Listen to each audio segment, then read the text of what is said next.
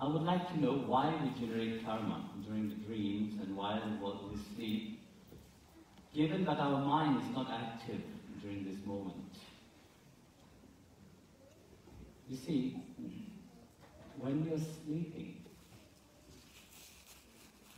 your mind go in a deep state. So, what quality you have contributed during the day? Have you done during the day? So you have to process all this now. So your mind process it when you're sleeping.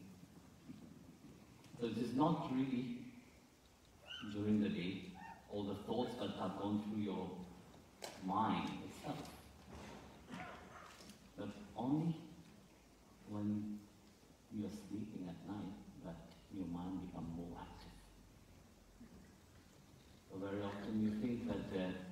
and my mind is very active during the day.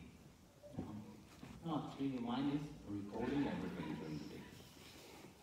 And at night, when you sleep, then it is processing it. So that's why, you know, coming to the question that uh, why do your mind, even when you're sleeping, generate karma? It is just processing